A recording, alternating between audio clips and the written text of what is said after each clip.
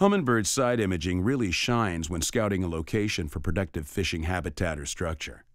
Thanks to the 240 foot side to side reach and picture like images of side imaging, Pro Tour anglers can scout and pre fish a lake in hours instead of days. And now you can too. When scouting a location, you can choose to scan as much area as possible. Press Menu twice to select the side imaging range. Often 100 to 150 feet side to side will give you great coverage. Once you've chosen the appropriate range, begin your search. As you're scanning, be sure to mark the location of any promising structure.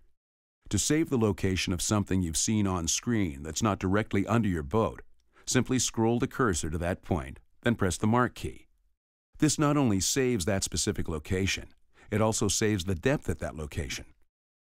When you finish scouting, you can quickly retrieve your marked waypoints and have picture-like images of the structure located there. In minutes, thanks to side imaging, you have a complete picture of promising fishing habitat in the area.